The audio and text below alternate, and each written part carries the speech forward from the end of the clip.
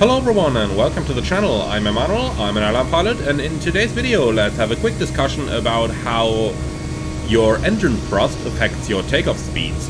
I saw quite a little bit of confusion amongst flight simmers when I said that the fixed takeoff speeds that are not influenced by thrust setting that you get on quite a couple of add-ons are not really correct, because it seems that many flight simmers don't seem to understand the correlation between your takeoff speeds and the engine thrust. So let's go into a little bit of detail about that on today's video.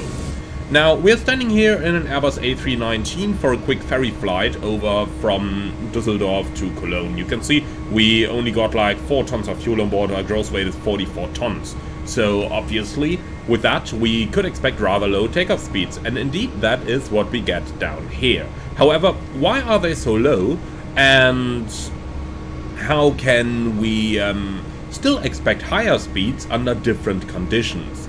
So, first of all, why are they so low? Well, obviously the airplane has a light weight, so the takeoff speeds must be low, right? Well, almost. The primary reason over here is that we not only have a rather low weight, but what does the low weight imply? Well, the airplane needs less lift. Yeah, to a certain extent, but you always need to keep in mind the other large effect of takeoff speeds. And that other effect is the takeoff speeds determine how much of a control input you can make through your control surfaces.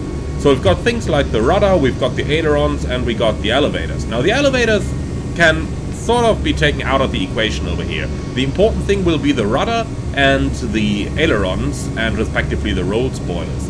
Now, when calculating takeoff data, we always take into account the worst possible scenario, and that is usually an engine failure at V1.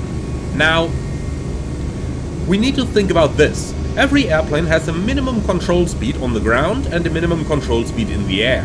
Those speeds are defined as being able to hold your direction without an excessive use of um, nose wheel steering or bank angle respectively. So on the ground you need to be able to maintain your uh, center line or rather maintain a certain distance from the center line in case an engine failure happens while still having positive control over the aircraft using aerodynamic surfaces only, so nose wheel steering must not be used for that. Kinda logical, but still worth mentioning. Likewise, in the air you must be able to maintain your heading with the use of primary con flight controls, so rudder and ailerons, without using more than a set degree of uh, bank angle. Now, that's basic ATPL theory over there. Now, in order to be able to actually maintain this, obviously the control surfaces need to be able to develop enough energy. And how do they do that? Well, you need a certain minimum amount of air flowing over them for the control surfaces to be able to exercise a certain pressure. So for example, if we do a full rudder deflection to the right over here and have a look at that right from behind, then we can see that the area of the rudder is given. But the effect this has on the controllability of the airplane is going to be stronger the faster the airplane is. That's the reason why as soon as we are building up speed and when we're getting up to cruising levels, the maximum rudder deflection is going to be severely limited by the flight controls. We can see that in the um, flight control page on the ECAM here with those green markings on the side, which are going to get more and more narrow the, the faster our airplane is going to fly. Now, likewise, the same applies for our ailerons as well, where we only have a certain given deflection. Now, this has an effect on the takeoff run of the airplane. Most notably, the slower you are when that engine failure happens, the stronger your rudder needs to be. That is the reason why, for example, the Airbus A318 has a larger rudder or a larger um, vertical stabilizer than the larger parts of the A320 family, namely the 319 through 321. The simple reason is that due to the um, small length of the airplane and due to the rudder therefore having less of a turning moment, it needed to be larger in order to be able to develop the same force in case an engine failure happens.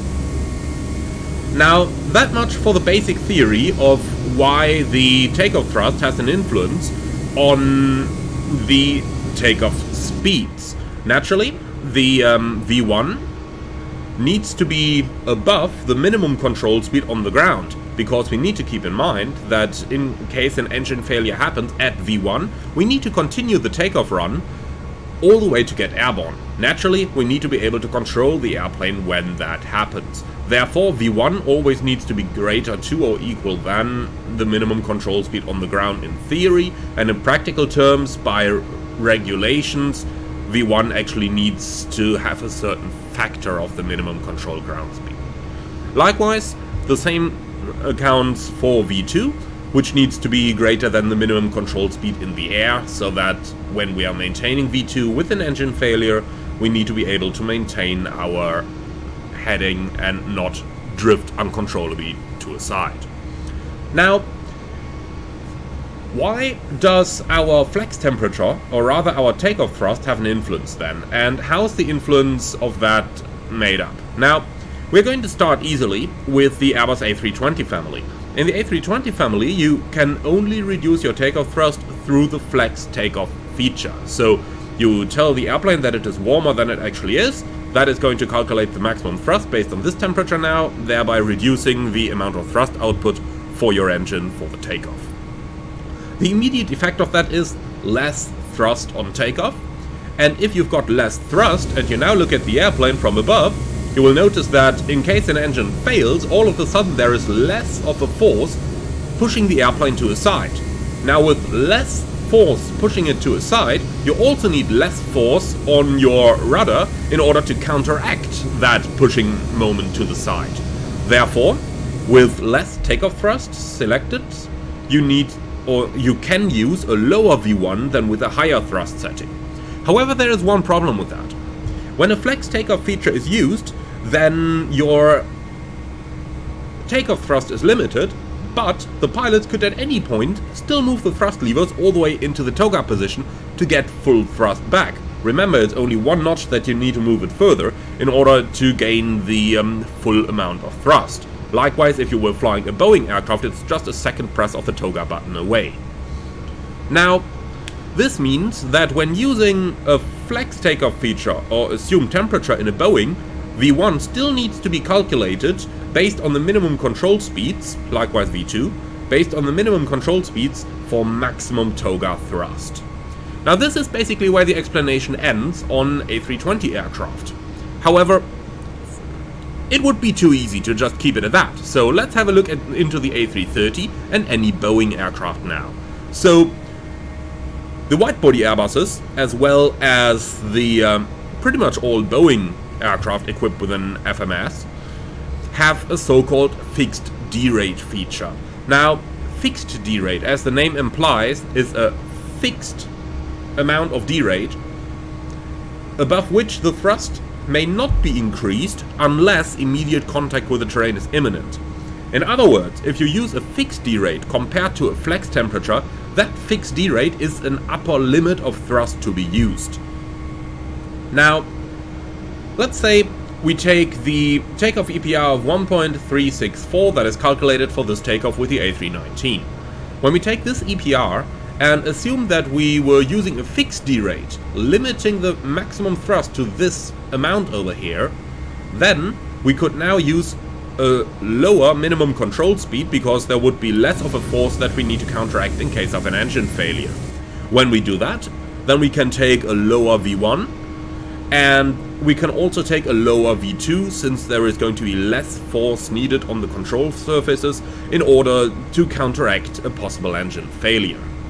Now, this also means that VR, which is limited by V1 and V2, can also be lower, so in total, if you used a fixed derate in order to have less maximum usable takeoff thrust available, then your takeoff speeds can be lower. Now, this might be beneficial if you have a very short runway, for example.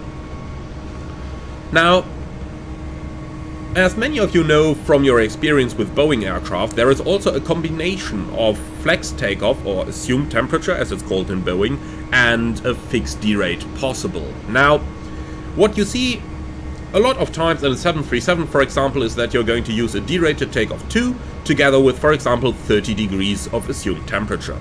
Now, why would you combine the two, and what is favorable then?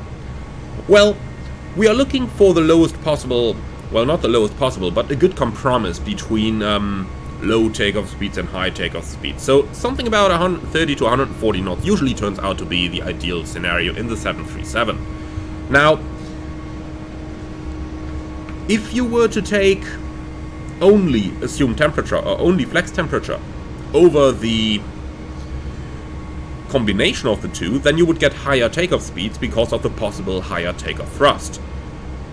If you were to take only flex takeoff without any assumed temperature, then you would limit yourself in terms of what can be done safety-wise in case you do encounter an engine failure and want to increase thrust above what is calculated.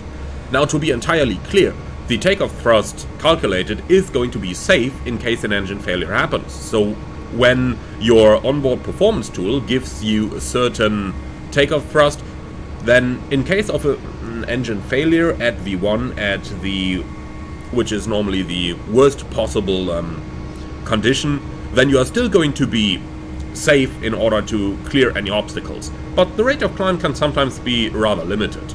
Now, for that reason, it is always allowed to increase thrust up to the maximum rated limit of the engine. Now, when you're only using a flex temperature or assumed temperature, the maximum rated thrust is basically the maximum rated thrust that the engine can take. However, when you're using a fixed derate, that maximum rated thrust now decreases to the fixed derate. Therefore, you have less thrust available in case of an engine failure.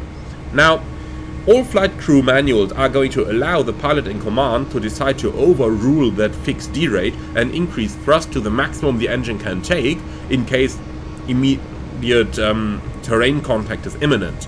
Now, you need to understand though that your takeoff speeds are calculated based upon this reduced thrust. So if you were to increase your thrust above the limit, there is a chance that airplane control could become difficult to impossible. So that is what the pilot in command needs to take into account when deciding to overrule the fixed derate.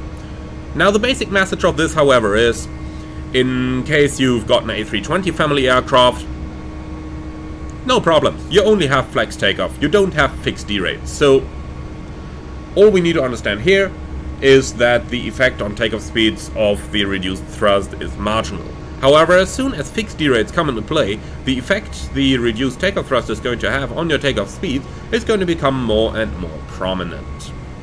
I do hope this sheds a little bit of light into what is going on in the background there when you've got an airplane that is using reduced thrust for the takeoff, and I do hope this sheds a little bit of light into why it may not always be that easy just to take a certain fixed takeoff speed for a certain weight and go flying with that. There is a little bit more theory going into it, and overall it is going to be up to the airline to determine which policy to follow, and thereby the airline is going to determine what is the best course of action, and therefore how the onboard performance tool is going to be programmed. For example, in my former airline on the Boeing 737, the use of fixed derates was maximized in order to get the takeoff speeds lower, and in my new airline flying the A330, which is also fixed derate equipped, the use of fixed derates is actually not allowed at all, because they want us to calculate the takeoff so that maximum thrust is always safely available. Now thank you very much for listening everyone, I do hope that you enjoyed this little excursion into performance theory and into why takeoff speeds are the way they are, and what effect your takeoff thrust has on the takeoff speeds. I do hope you enjoyed this video. If you did, then be sure to leave a comment in the comment section below the video, and be sure to leave a like in YouTube as it does really help out the channel. Finally, if you're up for more, don't forget to subscribe to the channel, and if you really love what I'm doing, I would appreciate a small donation through the Buy Me a Coffee link in the video description below. Thank you for watching, and I'll see you all again on the next one.